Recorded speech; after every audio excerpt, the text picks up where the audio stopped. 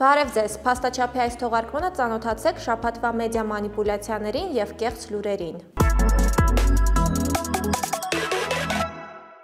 Անցնող շաբաթ մեր խոշորացույցի տակ հայտնվեցին վարչապետ Նիկոլ Փաշինյանի որոշ մանիպուլատիվ հայտարարություններ, ինչպես նաև մամուլում նրա մասին տարածված կեղծ լուրեր։ Փաշինյանը եւ նրա թիմակիցները Արցախի 7 շրջաններն ու Գորիս Կապան մայրուղու որոշ հատվածներ Ադրբեջանին հանձնելու մտադրությունների մեջ նախկիններին ուղված մեղադրանքները հիմնավորելու համար հիմնականում հղում են անում վարչատարածքային բաժանման մասին օրենքում 2010 թվականին ընդունված փոփոխություններին։ Մենք նախ պարզեցինք, որ ներքին օրենք օրենքներով արտաքին սահմաններ չեն որոշվում։ Եվ երկրորդ, Փաշինյանը թեև parberabar պնդում է, որ հենց այդ օրենքով են սահմանվել Հայաստանի եւ Ադրբեջանի սահմանները, միևնույն ժամանակ նաեւ parberabar խոսում է երկու երկրների միջև սահմանի դեմարկացիայի եւ դելիմիտացիայի մասին, արձանագրելով, որ սահմանների հստակեցման կարիք կա։ Թեմայի վերաբերյալ իրականությանը չհամապատասխանող պնդումներ է արել նաև ազգային ժողովի Հայաստան դաշինքի падգամավոր Արթուր Խաչատրյանը, նշելով, թե Փաշինյանը падգամավոր եղած ժամանակ եւս կողմ է քվյարկել այդ օրենքին։ Մինչդեռ նա որպես падգամավոր չէր կարող կողմ քվյարկել 2010 թվականին ընդունված որևէ օրենքի կամ օրենքի փոփոխության, քանի որ այդ ժամանակ նա ազգային ժողովի падգամավոր չէր, ավելին գտնվում էր քրեակատարողական հիմնարկում։ Thank you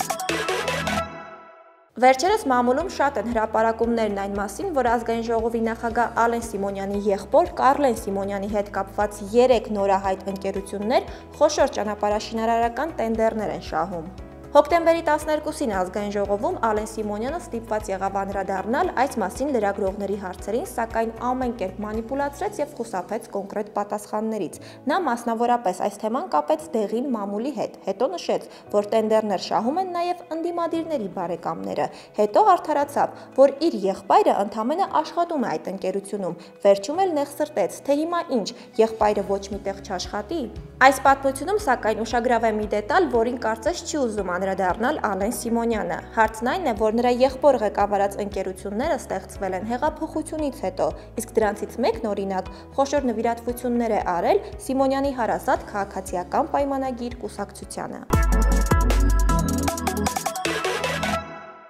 Անցնող շաբաթ փաստերի ստուգման հարթակը մի շարք կեղծ լուրեր բացահայտեց, որոնք հիմնականում վերաբերում էին կորոնավիրուսին եւ լարվածությանը Իրանը-ադրբեջանական հարաբերություններում։ Օրինակ, վերջերս մեկը մյուսի հետևից ապատեղեկատվություններ տարածող 5-րդ ալիքը հայտնել էր, թե իբր ԵԽԽՎ-ն պատվաստումների պարտադրանքը բացառող բանաձև է ընդունել։ Մինչդեռ 2021 թվականի հունվարին ընդունված եւ միամիտ պատահականությամբ Հայաստանում պատվաստումների պահանջի խստացմանը զուգահեռ շրջանառության մեջ դրված այդ բանաձևը ընդամենը խորհրդատվական բնույթ ունի եւ ոչ իրավական։ Հայաստան դաշինքից Արամ Վարդևանյանն էլ նշել էր, թե եվրոպական որևէ երկրում չկա պատվաստվելու պարտադրանք։ Այնինչ, ինչպես ողջել էր FIPM-ը, այդ պարտադրանքը կա Իտալիայում բոլոր աշխատողների համար եւ Ֆրանսիայում եւ Հունաստանում առողջապահական համակարգի աշխատողների համար։ Վերադառնալով 5-րդ ալիքին առանձնացնենք հերոստալիքի մատուցած լուրը Կասպից ծովում 4000 իրանական ռազմանավերի մասին, որոնք իբր զորավարժություններ են սկսել